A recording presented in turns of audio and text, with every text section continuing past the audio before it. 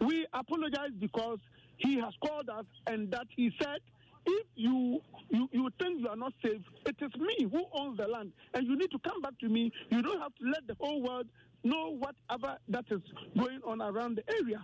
So if you have a problem, come to me and no other person.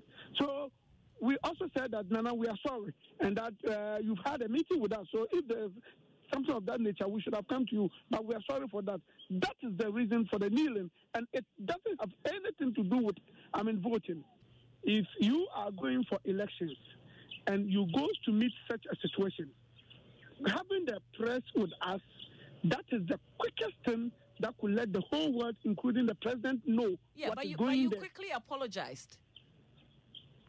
Come again? You quickly apologized. For what? For, for doing the press conference, you said you wanted the whole world to know, but then right when you you told the world, you went back to apologize for telling the world.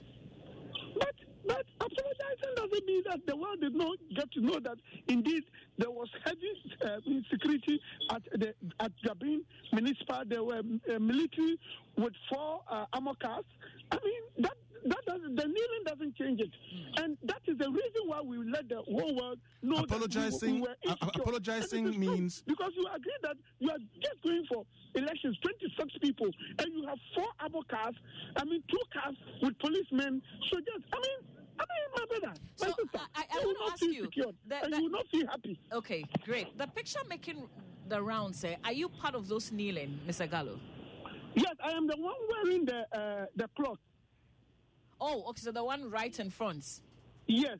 Okay. because Nana was Nana was talking to me, and I, I, also transferred the message to the people. So everything he mentions my name, and he mentions Ajari's name. Ajari is the one who also is in uh, the political suit blue. Okay, all right, I see that. So how long did you kneel for?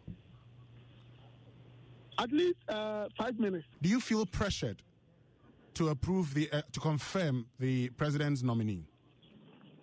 We feel so because we think that um, uh, if that is not it, we will not be having this big, uh, I mean, number of security coming, and that we think that we are we, we've been intimidated because you will bear with me that Juaben have never experienced even uh, uh, during the national elections heavy security like this before. So that is why members feel too intimidated. We feel too worried. We feel too disturbed.